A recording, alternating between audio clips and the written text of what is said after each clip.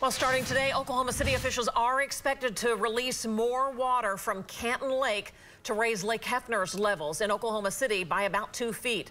The Water Utilities Trust says the decision was made to meet central Oklahoma's water needs, which services about 1.4 million residents.